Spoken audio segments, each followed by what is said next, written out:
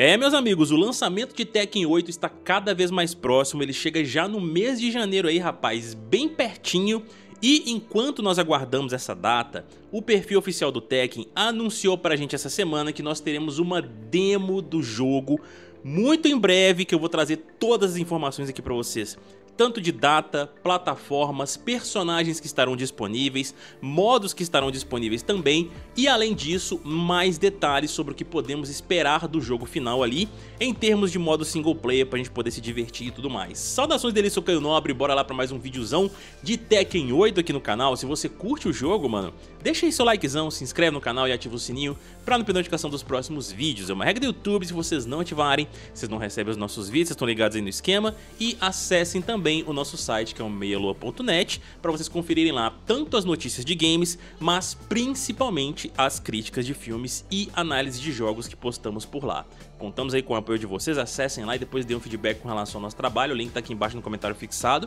Então, sem mais delongas pessoal, deixa eu trocar minha tela aqui para a gente poder começar a conferir estas informações relacionadas aí à demo de Tekken 8 que chega muito em breve, como vocês podem ver aqui, ó, já tô com o primeiro tweet dos caras aqui devidamente preparado para poder mostrar para vocês, onde diz o seguinte, pessoal, ó. Se prepare para sua primeira batalha em Tekken 8. A demo de Tekken 8 será lançada no dia 14 de dezembro para o Playstation e no dia 21 para Xbox e Steam. Ou seja, já no próximo dia 14, amanhã, cara, eles vão disponibilizar essa demo do Tekken 8 aqui pra gente poder curtir. E no dia 21, a galera do Xbox e Steam vai poder desfrutar desse conteúdo aqui também. Mas não para por aí, meus amigos, porque nós temos mais algumas informações aqui que eles foram respondendo a galera aqui nos seus tweets, que é o seguinte, ó. Aproveite o primeiro capítulo da história de Tekken, The Dark Awakens, e um modo de luta local versus. Vejo vocês no ringue, lutadores. Ou seja,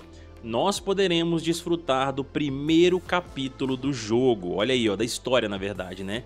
Pra gente poder já sentir como é que tá esse modo história aí. E obviamente eles querem dar uma levantada no hype da galera pro jogo final que chega em janeiro, pro pessoal efetivar a compra ali de uma vez por todas, né? Poder depois conferir essa história completa. E a gente vai ter esse modo local versus aqui. Não sabemos exatamente se vai ser só um modo contra CPU mesmo, um contra um ali, e a gente poder jogar local também com dois controles aqui e um amigo, né? Ou se eles vão trazer nesse modo local versus alguns outros minigames, por assim dizer, porque nós temos sim, e eu vou mostrar para vocês aqui alguns detalhes relacionados a isso logo mais.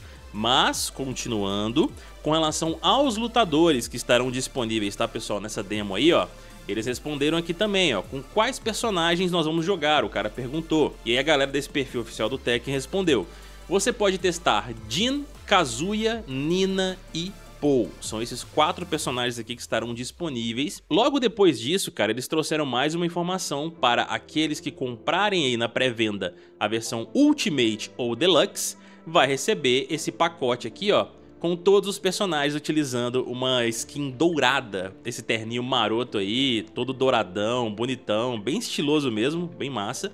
Então assim, pra quem gosta de skins, né, tem essa opção de comprar na pré-venda aí a edição Ultimate ou Deluxe, justamente para poder receber essas skins aqui para cada um desses personagens, beleza pessoal? Então já fica aí a dica para quem curte, né, nesse caso. E aí, meus amigos, vou passar aqui agora para outras informações que eu preciso trazer para vocês, desta vez agora do PlayStation Blog, onde eles tiveram a oportunidade de experimentar uma build, né, lá fora. Inclusive, já deixo aqui a recomendação para vocês, viu, galera? Nossos amigos lá do Combo Infinito, Ariel, ele esteve lá nos Estados Unidos, pôde testar o Tekken 8 e eles fizeram um videozão fodástico lá, contando como foi essa experiência. Então acessem lá o canal do Combo Infinito e confiram esse vídeo lá, onde eles puderam testar o Tekken 8 e também poder dar uma moral pra esse trampo foda que os caras fazem, beleza? E aí, ó, com relação às informações do PlayStation Blog, tá? Vamos lá. Prática com Arcade Quest. Fiquei animado para ver o que o novo modo Arcade Quest tinha a oferecer, que funciona como uma campanha totalmente realizada em vez de um simples modo bônus. A premissa é bastante simples. Crie uma versão divertida de você mesmo e jogue em fliperamas digitais para se tornar o melhor jogador do mundo. O novo modo coloca seu avatar digital criado por você mesmo em uma equipe com a qual você convive, pratica e compete. Eles irão torcer por você durante as partidas quando você realizar feitos impressionantes e lhe darão conselhos genuínos para torná-lo melhor como jogador. Isso transforma o modo de um divertido modo história, tá meio esquisito porque a tradução top é da letra, tá pessoal? Em uma jornada de autoaperfeiçoamento. Essa jornada de ascensão ao topo com os amigos, tanto digitais quanto reais em sua essência. Foi surreal ter um amigo digital me dando dicas de como melhorar com base na partida que estava assistindo, dos conteúdos do game, tudo mais que eles puderam testar. As partidas são diferentes dependendo de quem você desafia. Durante meu tempo de jogo, um tripulante só se interessou em sair com os amigos e eles mal resistiram, o que me permitiu conquistar duas vitórias perfeitas. Alguns personagens têm motivos nefastos para desafiar você, como apenas concordar em partidas que acham que podem vencer. E aqui algumas palavras do diretor Correi Ikeda, ó, vamos ver. Originalmente, esse tipo de gênero nasceu nos fliperamas, e eles praticamente desapareceram no ocidente, e até mesmo no Japão mais recentemente, disse o diretor do jogo, Koei Ikeda. Mas a melhor parte disso é que você simplesmente aparecia no fliperama e seus amigos estariam lá, ou você faria novos amigos, e todos vocês compartilham essa paixão pelo jogo e podem aprender coisas novas enquanto estão lá. Foi uma ótima experiência, então as pessoas que vivenciaram essa cultura antes poderiam pensar, nossa, eu me lembro disso, foi incrível. Ou os jogadores mais jovens que talvez já tenham ouvido falar disso poderiam sentir um gostinho disso no modo online. À medida que você se torna um competidor conhecido em seu fliperama local, você eventualmente se muda para novas cidades e enfrenta jogadores locais para aumentar a notoriedade e a reputação pessoal da sua equipe. Esta adição parece significativa no jogo, mesmo sem o destino do mundo em jogo. E aí continuando, ó. PlayStation vs Tekken.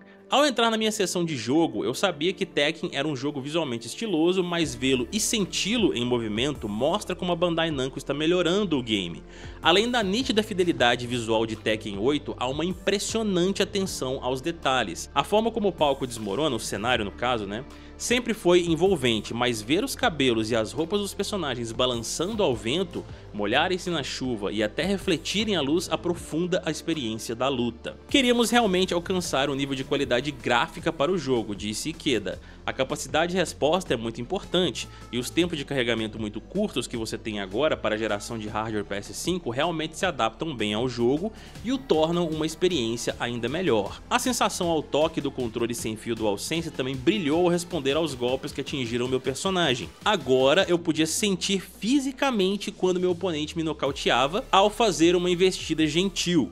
Quando fui atingido por um Hit Smash, um novo ataque super estiloso do jogo, o ataque de esmagar ossos foi pontuado por uma sensação de tremor em minhas mãos, me fazendo pensar que estava derrotado. Mesmo fora do combate, a sensação ao toque respondia à ação em uma cena, o que significa que raramente haveria um momento em que eu desejasse desligar o controle. Aí vem o Ikeda novamente.